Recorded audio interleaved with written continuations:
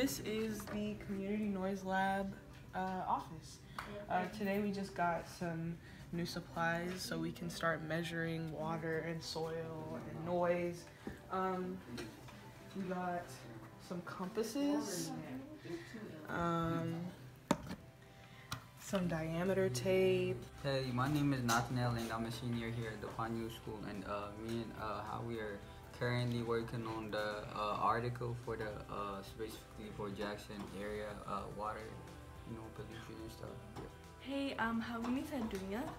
Uh, I'm a senior at the Pioneer School. Now, we're, me and Nati, we're working on the article for the Brown Project. Hi, my name is Kamari Wissett, and I work with Naima with geocoding.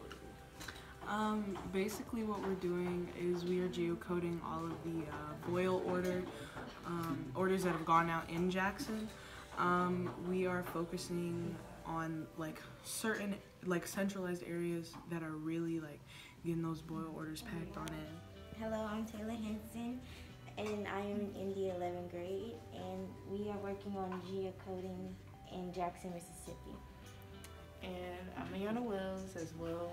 I'm in the 11th grade, and like she said, we're working on the alerts for the Jackson area.